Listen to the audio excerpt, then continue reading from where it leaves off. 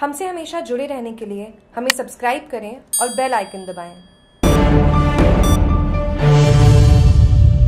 नागानी में कोरोना कर्मवीरों का हुआ सम्मान। लॉकडाउन की सभी नियमों की पालना करते हुए नागानी में कर्मवीरों का हुआ सम्मान। पंचायत स्तरीय व आला अधिकारियों का किया सम्मान। मंचासी अतिथियों ने जताया आभार।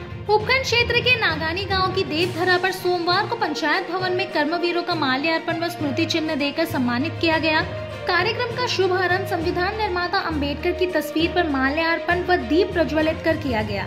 इसके बाद में कार्यक्रम के आयोजन करता श्री नागजी महाराज गौशाला के अध्यक्ष व भामाशाह मोटाराम चौधरी ने मंचासीन अतिथियों का माल्यार्पण व स्मृति चिन्ह देकर स्वागत सत्कार किया। समारोह के मुख्य अतिथि अनादरा थाना प्रभारी हमीर सिंह भाटी रहे। उन्होंने सभा को संबोधित करते हुए कहा कि आपके गाँव में अभी तक एक भी कोरोना मरीज़ नहीं। इसका पूरा श्रेय आपके गाँव की जनता व यहाँ के स्थानीय अधिकारियों को जाता है।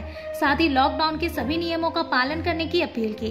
वही कार्यक्रम की अध्यक्षता कर रहे जेईएन राजेश कुमार ने लोगों को मास्क पहनने, सामाजिक दूरी बनाने, नियमित साबुन से हाथ धोने समेत अन्य नियमों की जानकारी दी।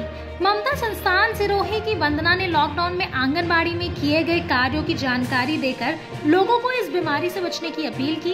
कार्यक्रम के आयोजन करता मोटाराम चौधरी व समाज सेवी महेंद्र सिंह परमार ने बताया कि कार्यक्रम में संबोधन के बाद में कोरोना संकट काल में जिन कर्मवीरों ने दिन रात एक कर पंचायत को कोरोना से बचने के लिए सहयोग किया, इन सभी कर्मवीरों का मंचासी अतिथियों ने माल्यार्पण व स्मृति चिन्ह देकर सम्मानित किया गया। जागरूक टीवी के लिए रेवदर से विक्रम कुमार की रिपोर्ट।